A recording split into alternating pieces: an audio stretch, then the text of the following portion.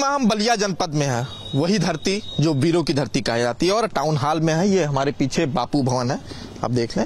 ये वीरों की धरती कही जाती है और लगातार जिस तरह से सियासी चर्चाओं का दौर जारी है, हमारे साथ कुछ लोग हैं, हम उनसे चर्चाएँ करेंगे, जिस तरह से राजनीति में चर्चाएँ चल रही हैं।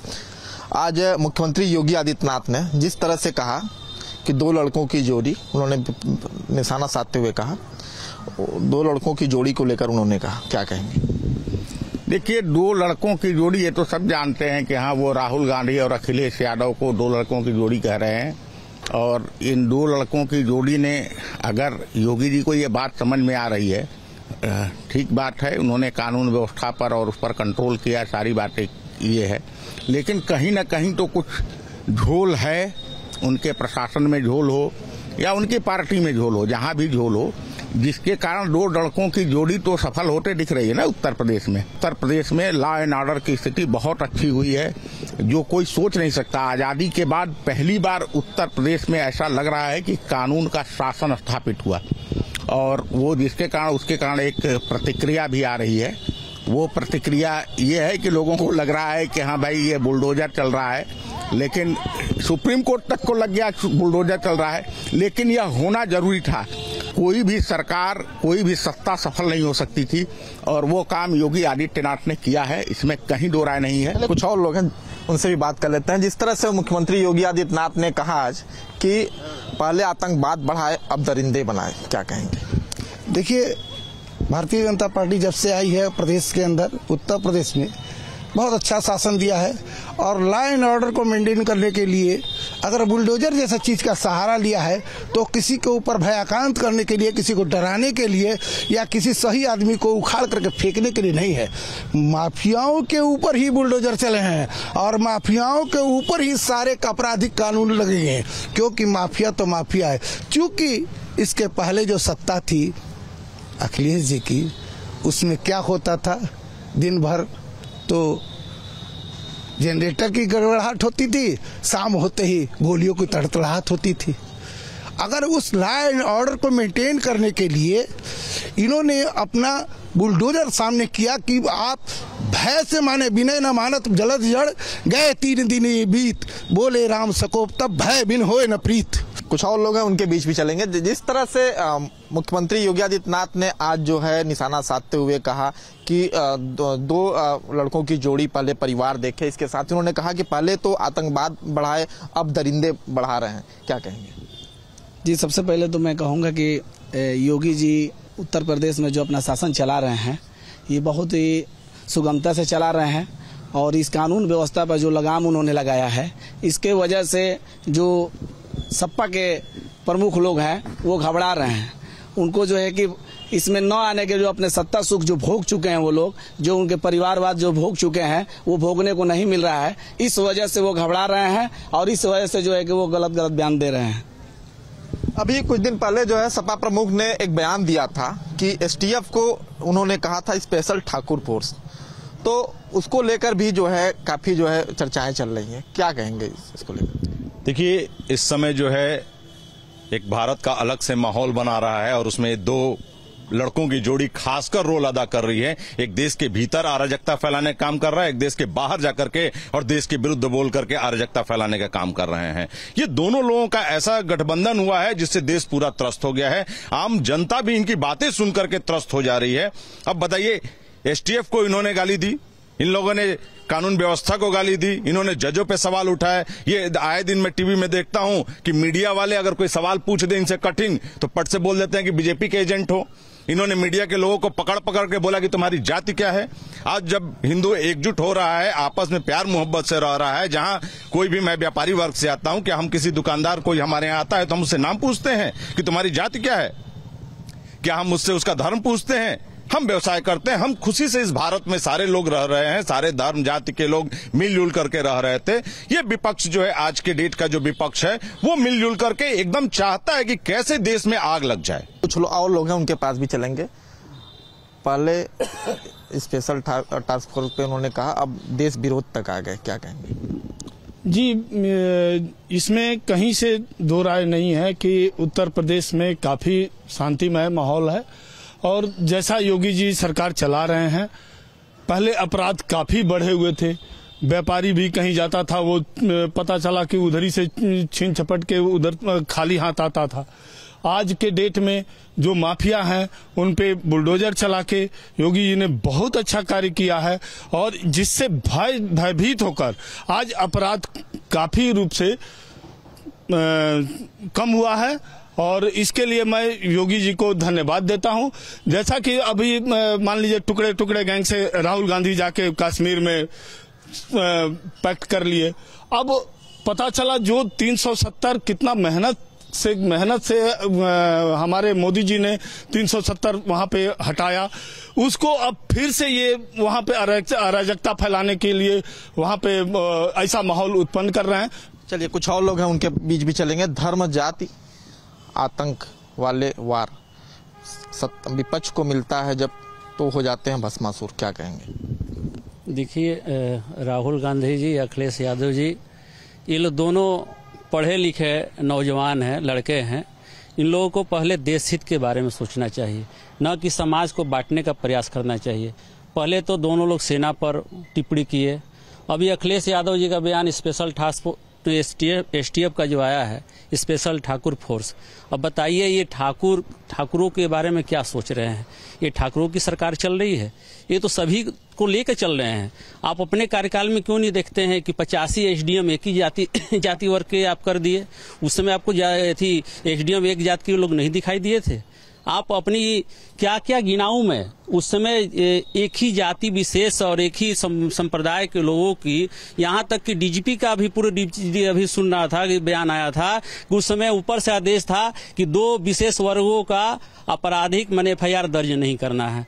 योगी जी तो सबका साथ, सबका विकास लेकर चल रहे हैं। और लोग हैं, उनके बीच भी चलेंगे। अब देखा जाए तो ठाकुर फोर्स और देश विरोध तक बात आ गई। क्या कहें? देखिए, देश विरोध और ठाकुर फोर्स, जो आपने बात किया है, ठीक ना? तो अभी बहुत सारे लोग बहुत कुछ कहे। ये इनकी जो एसटीएफ है, जो इनका बुलडोजर है, जो ये सौभाग्य से इसमें से जितने लोगों से आपने बात किया, सब लोग व्यापारी वर्ग से आते हैं। अभी बलिया में, हिंदुस्तान में मैं तो अपने होश में पहली बार देखा, एक व्यापारी लाइव आकर के आत्महत्या कर लिया। बुलडोजर का तेल खत्म हो गया। बलिया में और टायर पंचर हो गया, वह बुलडोजर नहीं चला।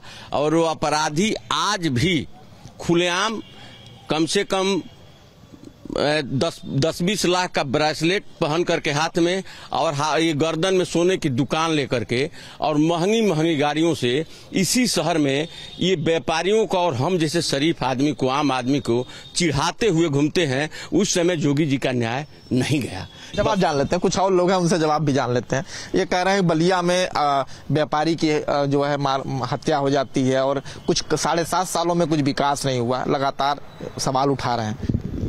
देखिए ऐसा नहीं है कि विकास नहीं हुआ है। अभी मान लीजिए ग्रीन एक्सप्रे, एक्सप्रेसवे जो है बन रहा है।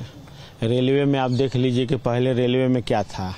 बलिया का विधायक सांसद जो वीरेंद्र सिंह मस्त थे पहले वो ऐसे सांसद उनकी हैसियत है कि प्रधानमंत्री के क्षेत्र से ट्रेन को जो है बनारस तक जो चलती थी ट्रेन उसको खींच के जो है बलिया तक लाए हैं। उसके बाद जो है पूर्वांचल एक्सप्रेसवे आप देख रहे हैं, उसको लिंक किया जा रहा है। उसके बाद लॉ एंड ऑर्डर जहाँ पे छिनैती, डकैती, इस तरह की घटनाएँ आम हुआ करती थी। शाम को हम लोग निकलते थे तो डरते थे कि मतलब घर सुरक्षित पहुँच पाएँगे कि नहीं। आज लॉ एंड ऑर्डर इतनी अच्छी है कि कम से कम हम लोग बारह बजे, एक बजे रात को कभी भी जा सके, कहीं कोई बात नहीं है। कुछ और लोग हैं, उनके बीच भी चलेंगे। धर्म, जाति, आतंक, गुंडे वाला गुर। विपक्ष को सत्ता मिलते ही हो जाते हैं भस्मासुर क्या कहेंगे? देखिए, मैं बलिया में आपका स्वागत करता हूँ। जात पात की राजनीति जो है, वो पार्टियों ने ही जन्म दिया है। आम जनमानस भाईचारे की ज़िंदगी जीता है। लेकिन बलिया की अगर बात हो रही है तो बलिया में सहित पूरे उत्तर प्रदेश में और देश में जिस तरीके का माहौल है, जो हमारा यहाँ व्यापारी समाज, सभी लोग हम लोग व्यापारी समाज से आते हैं, और हम लोगों ने लोकसभा का चुनाव भी लड़ा। हम लोग विडम्बना को झेल चुके हैं। आज देश में विकास के नाम पे बात नहीं होती है।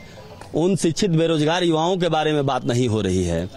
उन महिलाओं के साथ रेप हो रहे हैं उस पर बारे चर्चा नहीं हो रही है कि इसको कैसे रोका जाए।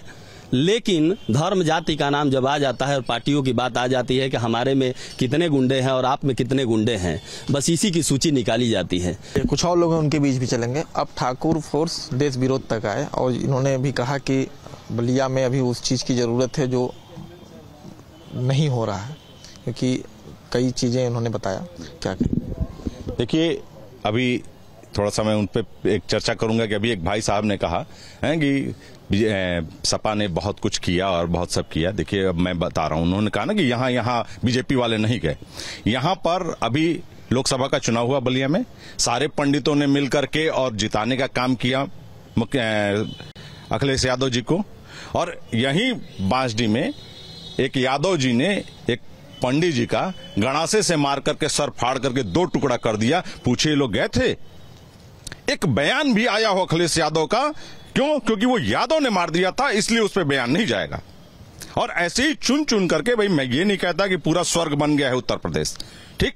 लेकिन जिस तरह से काम हो रहा है और इन्होंने कहा गया कि उनका मकान नहीं टूटा उनका मकान नहीं टूटा। मकान किसी का नहीं टूट रहा है। जो अवैध है वो टूट रहा है। अगर उसका वैध है तो नहीं टूटेगा चाहे किसी का भी हो। कुछ कुछ कुछ और लोग हैं उनके बीच भी चलते हैं। मुख्यमंत्री योगी आदित्यनाथ ने आज कहा कि दो लड़कों की जोड़ी अपना परिवार देखे। क्या कहें? जी निश्चित तौर पे ये दो लड़कों की जोड़ी उन्होंने बोला है। ये लोग पढ़े लिखे हैं, नौजवान हैं, इनको सोच समझ के कुछ बोलना चाहिए। योगी जी ने गलत नहीं कहा।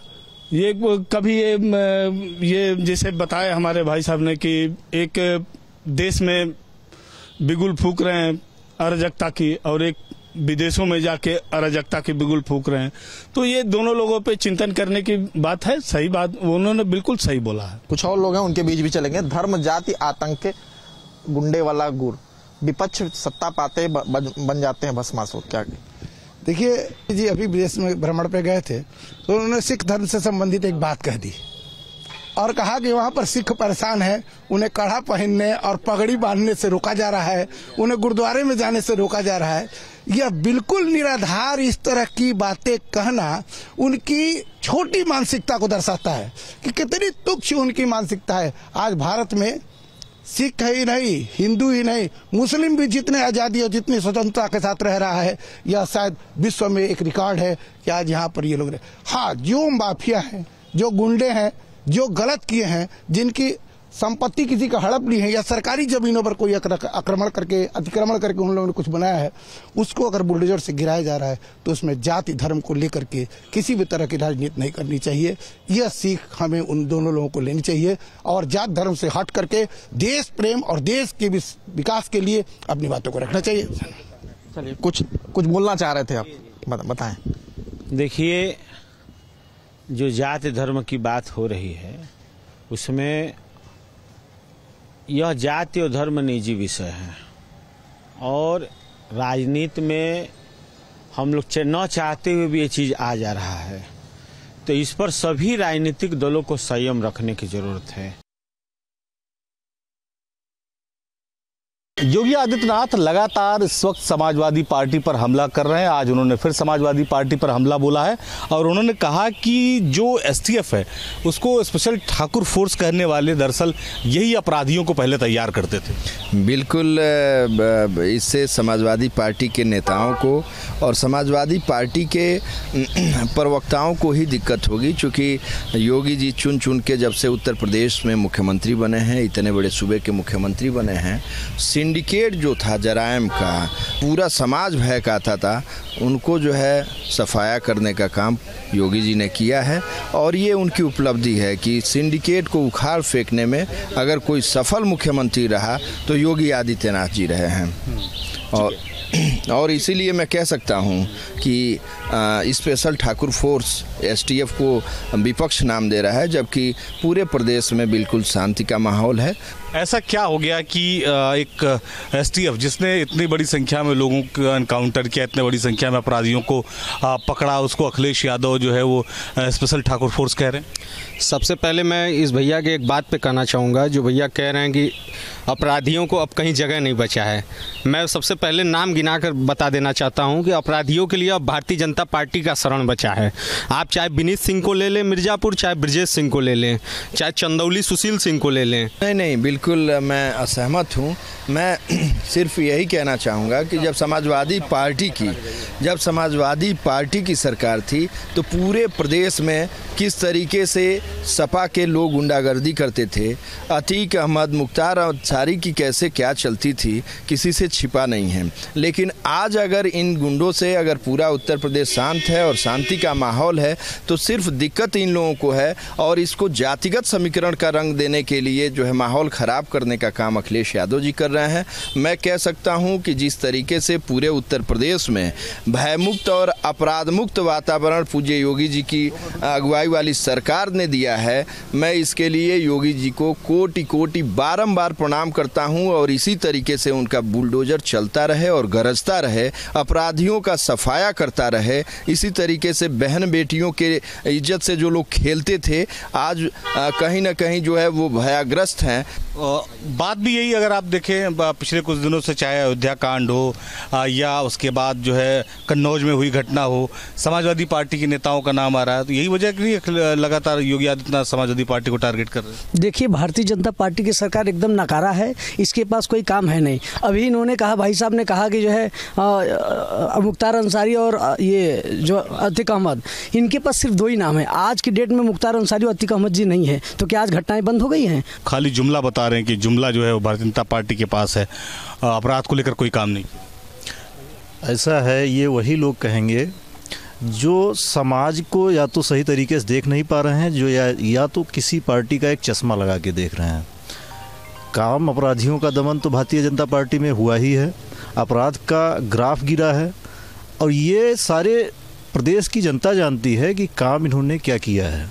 योगी जी ने सबसे अच्छा जो इनका रहा है लाइन ऑर्डर का, आप अपराधियों का जो दमन हो रहा है एक्चुअली क्या है एक समय में सारे अपराधी एक पार्टी में आ गए थे। अब उनके ऊपर जो कार्रवाई हो रही है तो पार्टी विशेष पार्टी विशेष के लोगों को थोड़ा दुख हो रहा है। इसमें कोई दो राय नहीं है। अगर कार्रवाई होती है तो सबसे ज़्यादा परेशानी एक ही पार्टी को हो रही है। ऐसा अगर होगा तो ये इनकी परेशानी है ये भारतीय जनता पार्टी की नहीं है। वो काम जो हो रहा है आज के समय में जो आ, हर स्तर पे विकास का कार्य हो रहा है और बताने की ज़रूरत नहीं है पूरे प्रदेश में लाइन ऑर्डर की जो व्यवस्था आज के समय में है ऐसी कभी नहीं थी। ठीक है। कानून व्यवस्था को लेकर तो बहुत सारे लोग ये बात कह रहे हैं। पहले तो भैया मैं ये कहना चाहूँगा कि भैया ने जो बात कही कि सारे माफिया गुंडा सब लोग एक पार्टी में हो गए हैं तो ये सही बात बोल रहे हैं कि सारे लोग भारता जन, भारतीय जनता पार्टी में हो गए हैं इसलिए वो दूध के धुले हो गए हैं। मैं कैसे नाम गिनाऊँ? पूरे पूर्वांचल में नाम गिना दूँ? बाहुबलियों के? इनके? चारों तरफ़ ठाकुरवाद फैला है। यही लोग छप्पन एसडीएम यादव बताते थे। आज तक वो छप्पन एसडीएम के लिस्ट नहीं दे पाए। तो इसलिए कहना कुछ नहीं कानून व्यवस्था अपने चरम पे है। क्या अभी अभी अभी आपने जो कहा कि ठाकुरवाद जो मानी राष्ट्रीय अध्यक्ष आप क्या कहना चाह रहे हो? क्या मीडिया ने दिखाती? वो दिखाओ। आप लोग कहाँ जो है आप बताइए अयोध्या का भी जो कांड हुआ उसको आप दिखा रहे हैं? मेरे आप दफ्तर मेरे दफ्तर में एसी लगा वहाँ आराम से बैठ सकते हैं। यहाँ गर्मी में आके आपसे श्रीमान क्यों पूछते सवाल? श्रीमान जी, क्यों पूछते इसीलिए तो आए कि आपको जो बताना बताओ ना भाई। तो रहा हूँ। आप लोग जो सच्चाई वो दिखाई नहीं रहे हैं। आपको पता नहीं दिखा रहे हो आप? बताइए ना अयोध्या का किस आपका कोई न्यूज़ चैनल पे नहीं चल रहा? फ्रेम बना लिया है कोई नहीं चला रहा है। आज नहीं चलेगा चल तो रहा है। बोलो क्या मैं बोल तो रहा हूँ कि ये भारतीय जनता पार्टी की सरकार से पूरे देश का आम आवाम एकदम उब चुका है पश्चिम से लेकर पूर्वांचल तक। कहीं ये लोग आप बताइए पूरे प्रदेश में अराजकता का माहौल है कि नहीं है? किस ज़िले में ऐसा बताइए घटना ना हो चाहे लखीमपुर खीरी ले लीजिए चाहे अयोध्या ले लीजिए आप बताइए। आपको जानकारी नहीं ठीक है। आप बताओ। नहीं नहीं ये अभी मान लीजिए वहाँ आप जितने भी वैकेंसीज देख लो अभी कोई भी वैकेंसी इनकी क्लियर नहीं हो पा रही है कहाँ नहीं हत्या हो रही है आप बताओ। अभी रुकिए भैया बताइए। बिल्कुल गलत बात है। आज आज चारों तरफ़ हर जाति वर्ग के लोग जो पढ़ाई कर रहे हैं, जो मेहनत कर रहे हैं, उनको नौकरी मिल रही है। अखिलेश यादव की जब गवर्नमेंट थी, उसमें क्या होता था? वर्ग विशेष के लोगों को आज़ादी दी जाती थी, वर्ग विशेष के लोगों को छूट दी जाती थी। उनका जो है, पहले अखिलेश यादव ही सारा कुछ तैयार करते थे, वही सिलेक्शन करते थे, वही सारा कुछ थे ट्रिक लगा दिया जाता था, इनका सिलेक्शन हो गया। अब जो मेहनत करने वाले लोग थे, जो मेहनत करने वाले परीक्षार्थी विद्यार्थी थे, वो जो है प्रतियोगी परीक्षाओं से बाहर उन्हें कर दिया जाता था। कहीं ना कहीं इस माहौल को जो है, योगी जी ने जो है, सिमटने का काम किया है और उन्होंने एक मैसेज दिया है कि जो पढ़ेगा, वो आगे बढ़ेगा। और जो पढ़ने वाले छात्र हैं, जो प्रतियोगी परीक्षाओं में सम्मिलित हो रहे हैं, जो मेहनत करके पढ़ते हैं, आज वो नौकरी पा रहे हैं और जो इस तरीके से जो लोग पतली गली से आके और जो है, जैक और जुगाड़ के चलते जो नौकरी पा रहे थे, वो कहीं ना कहीं पीछे लाइन में खड़े हैं और इसीलिए जो है समाजवादी पार्टी के लोगों का गुस्सा जायज़ है। वो लोग जो है उल्टा सीधा अनाप शनाप आरोप लगा रहे हैं। योगी जी के बारे में मैं कह सकता हूँ कि 24 कैरेट के शुद्ध सोना है और उनके नेतृत्व में चहुओर, हर वर्ग का वर्ग का और पूरे उत्तर प्रदेश का विकास ही विकास हो रहा है। बस मैं यही कहना चाहूँगा कि योगी जी के नेतृत्व में फिर 2027 में चुनाव होगा और फिर तीसरी बार उत्तर प्रदेश में भारतीय जनता पार्टी की सरकार बनेगी। पिछले कुछ दिनों से लगातार मुख्यमंत्री योगी आदित्यनाथ समाजवादी पार्टी को टारगेट कर रहे हैं और खास करके जब कानून व्यवस्था का जो है मुद्दा होता है चर्चा होती तो उस समय वो समाजवादी पार्टी के जो कार्यकाल है, उसका ज़िक्र ज़रूर करते हैं। लखनऊ से बुढ़ दीपक राणा के साथ निखिल शर्मा, न्यूज़ स्टेट उत्तर प्रदेश।